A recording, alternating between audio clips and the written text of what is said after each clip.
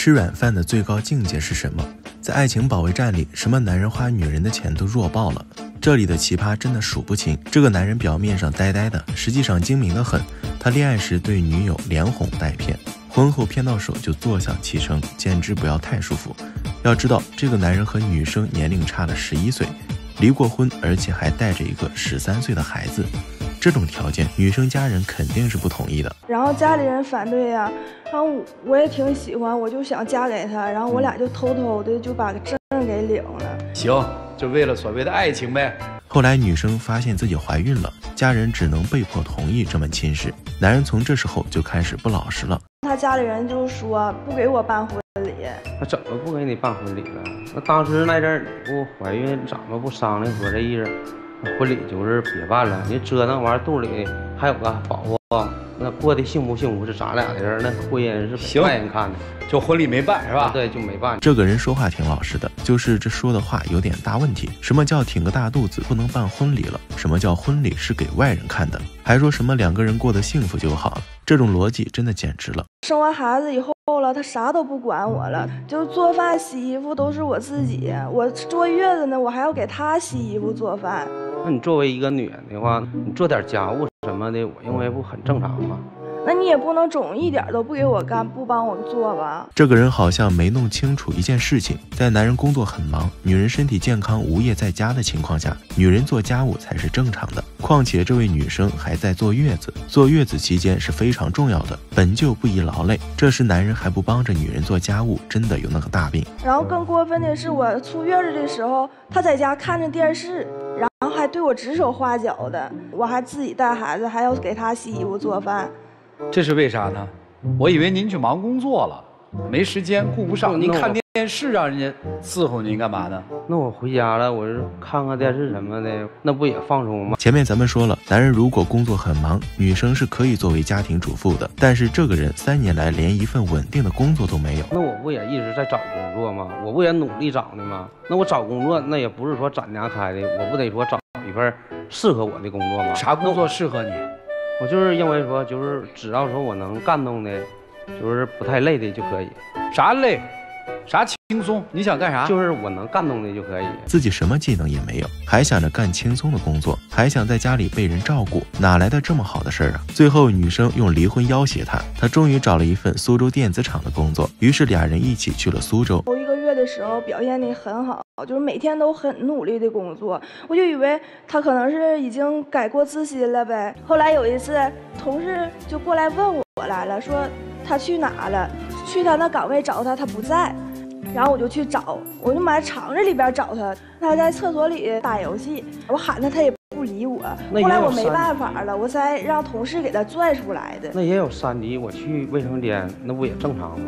上完卫生间，我在那边上，我就打游戏，打了一会儿，比如说把时间给打忘了，那我也也不是有意的。最后因为耽误工作，男人被公司开除。就这，男人还在那狡辩呢。工作时间虽然可以稍微摸摸鱼，但也要适度。他自己做错事，还说自己不是有意的。最后实在不行，女生想带着男人回老家，男人还不愿意，还想着闯一闯试试看。他找了三个月，他都没找到一份合适的工作。他每天早上都早出晚归的告诉我说：“啊，我去找工作去了啊。”然后有一次他洗澡，他手机来了条短信，我就看了一眼，结果是他朋友给他发的短信，告诉他说出来打游戏。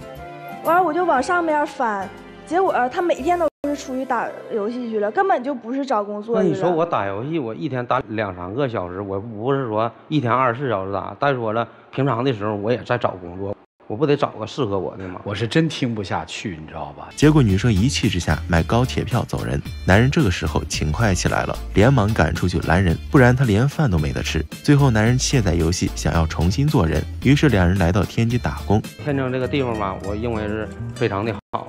但是我朋友给我介绍这个工作吧，我是实在干不了。那个领班和经理吧，动不动没有事老找咱们小毛病，老罚咱们钱，我是实在忍不了了。我说这活我我真不想干了，完我也不想让他。那你来天津做什么？跟他一起上班啊。那他怎么能行，你就不行呢？我觉得就是他那个罚钱什么，就是找毛病，玩一天就是说时间点儿也太长，我就实在我是真受不了。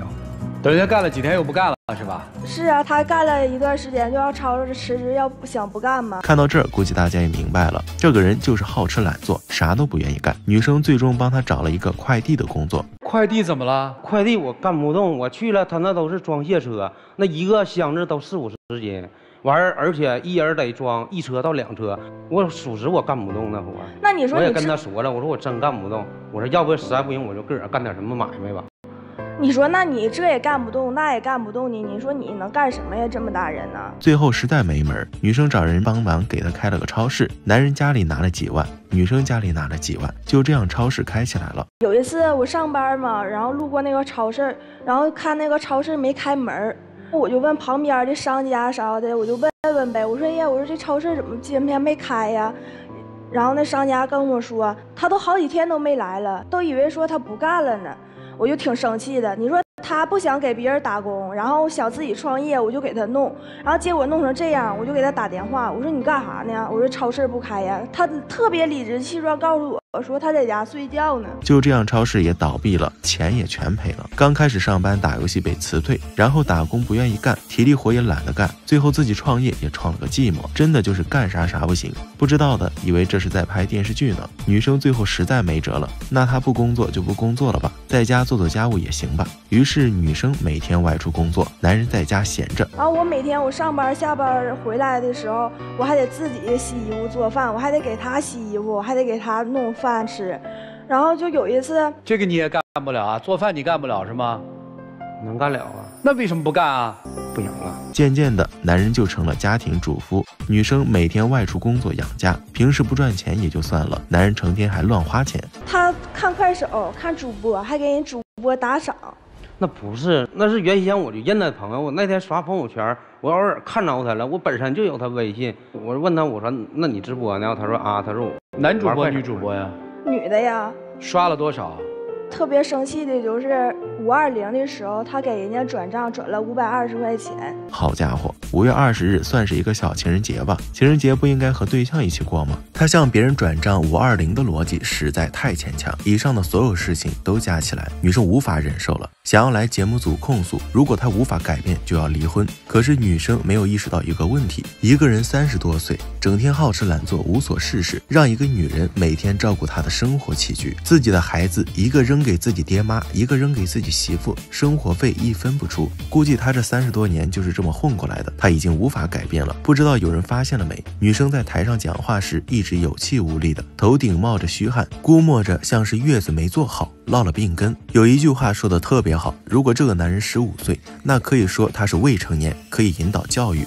但是他今天三十五岁，还有两个孩子，改变已经成为不可能。我们从头捋一捋过程，就会发现这个男人是多么肮脏。首先，恋爱时连哄带骗的和女生领了结婚证，女生是冲动，男人是蓄谋已久。领完证连婚礼都不办了，结果女生就这么被糊弄过去了。男人发现女生太好骗了，于是变本加厉，让女生上班养着自己，做自己的便宜保姆，用媳妇的钱给别的女人花。这个软饭可谓是最强了。节目的最后，女生决定暂时离开一段时间，观察男人到底能不能实实在在的改变，再做决定。视频最后总结一句：想要一个人改变时，不要说什么不改变就离开，而是要先离开后看他行动。